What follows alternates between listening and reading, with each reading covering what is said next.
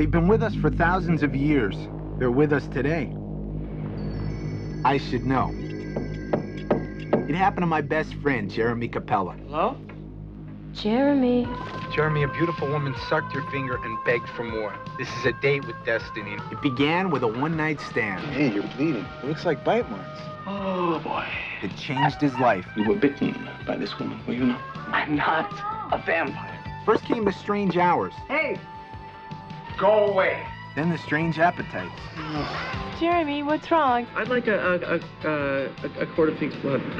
Quart of pig's blood. Not to mention a lot of strange behavior. You're telling me that I'm gonna be a teenager for another 20 years? I've had something happen recently. I've been going through some changes. Yeah, it's called puberty, jerk. Life became a little dangerous for Jeremy, and a little weird for me. Her. Sex without guilt is the greatest. Hi, Pam. But after all, a friend is a friend.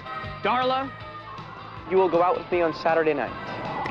You've got to be kidding. For better, for worse, Garlic. Let's get the hell out of here. forever. I'm a vampire. My lips are sealed. Just make sure yours stay that way, too. I don't want to wake up a few pints low. My best friend is a vampire. Have you checked out yours? I